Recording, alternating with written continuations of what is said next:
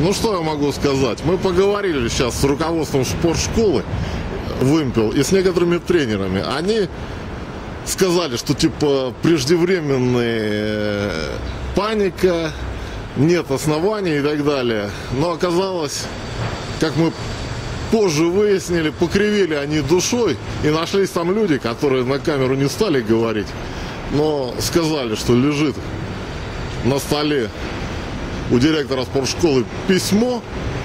Об оптимизации Да. спортивной школы Винтон. Ну вот мы сейчас приехали в управление физической культуры и спорта Брянской области. Господину Корнееву, ну что, мы хотим выяснить, для чего оптимизировать спортивную школу.